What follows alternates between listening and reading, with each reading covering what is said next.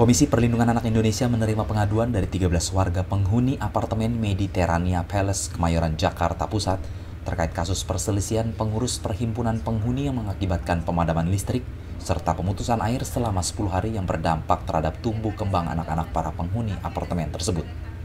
Susiana Afandi, Komisioner Bidang Sosial dan Anak dalam Situasi Darurat KPAI mengatakan, pemadaman listrik dan air ini mengakibatkan anak-anak dan lansia menjadi kelompok yang paling terdampak.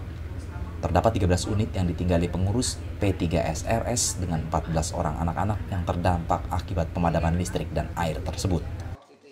Pemadaman listrik dan air apartemen Mediterania Pilis mengakibatkan anak dan lansia menjadi kelompok terdampak. Air sebagai kebutuhan dasar dalam kehidupan sehari-hari, eh, kebutuhan dasar dari anak-anak tidak dapat diakses. Anak-anak kesulitan melakukan aktivitas MCK di unit milik keluarga. Atas permasalahan tersebut, keluarga mengajak anak-anak ke fasilitas publik seperti tempat renang, sauna, dan front office di apartemen untuk aktivitas MCK. Keluarga juga memanfaatkan fasilitas di SPBU yang terdekat dengan apartemen untuk aktivitas mandi.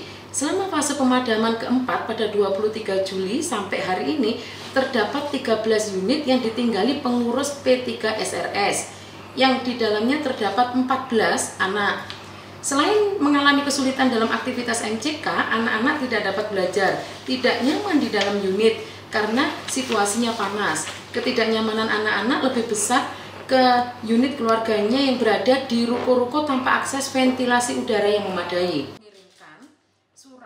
Di Jakarta, Tim Liputan Tribrata TV, salam Tribrata.